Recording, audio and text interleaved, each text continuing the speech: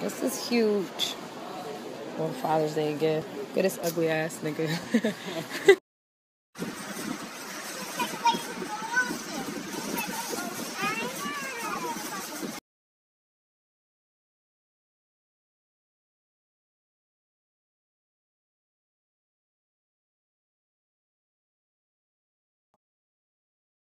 Look at your gift. Open it. Open it. Open it. Happy Father's Day. Okay. Look what this man did to. Let me show him somebody. He put the gift we just gave him in between the windows.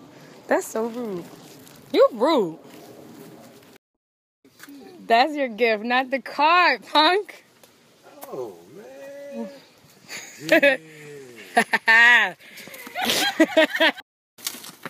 so now you could cook or nah? That's right. You gonna break it in tomorrow? Hey, on a Monday? Yeah, I gotta work. Oh, sure. Palace. Smoke palace. That one works. Anything else you talking about? That's too much.